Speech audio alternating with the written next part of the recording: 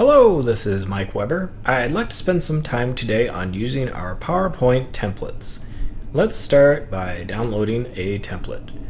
First, we'll go to PresenterMedia. We have many categories that you could choose from. I am going to choose one of our newer animated templates, Amazing Agriculture. So go ahead and select it. You'll see there's an option for Mac or PC. I have PowerPoint version 2013 on my system, so I'm going to go ahead and select that by clicking the download button. The browser I use automatically saved it to my system. Depending on the browser you're using, it may ask you where you would like to save the template to your system, which is fine. Go ahead and select a folder. At this point, we can go back to PowerPoint, File, Open, and mine is in the downloads folder. And we'll go ahead and open it up. At this point, you could add text. You could insert a clip art or an animation, or add or delete any of the slides that you choose.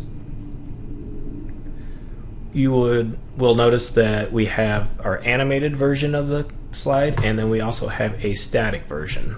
Depending on what you'd like in your presentation, uh, the static slide, of course, so there will be no movement.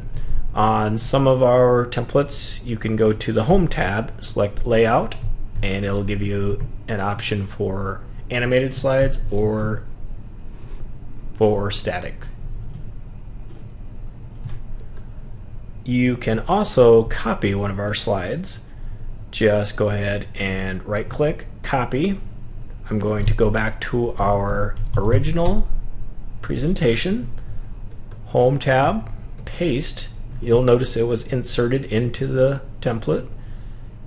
At this point you can select either to keep the source or destination formatting. At this time we can go ahead and take a look at our presentation, run the slideshow. There's our first slide, the slide we inserted from the other template. Thank you for listening.